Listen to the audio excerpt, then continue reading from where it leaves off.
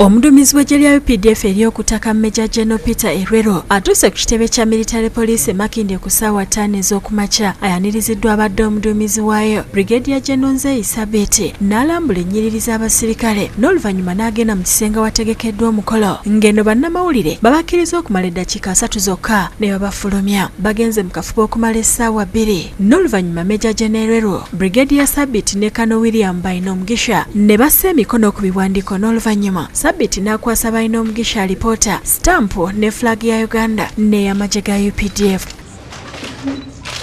ssentebe wa baraka zone bahatambira john alumiriza abasirikale ba poliisi okulya engoze n'okuba nti bwe bakwata abasibe be basooka okudda eka bw'atyo n'asaba brigedi ya sabiti okubassaamu empisa. Bwe tutambula nga tukola operation n'okola operation nga muli abantu olina poliisi bataano mukola operation ne mukwata abantu makumi asatu. Aze chairman ogenda okutunula emabega ng'osigaliza abantu bataano.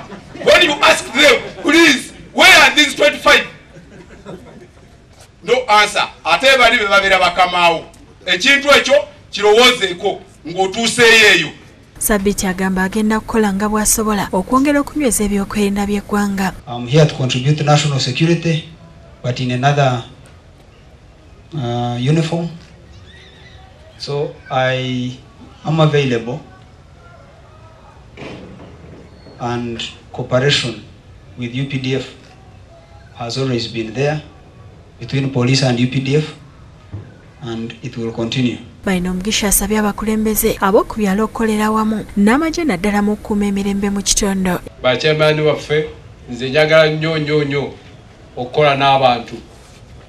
Teamwork is very very important and these are the source of the information erwero akubiriza abasirikale ba miritale okweyisa obulungi mu bantu mwe bakolera You have to work for the good of our country. It's not for your good.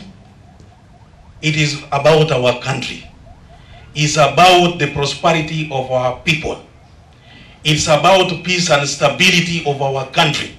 mutebi sulaiman yakusakidde eggulire lino ku lwa bukede tv moteur bi moteur bi.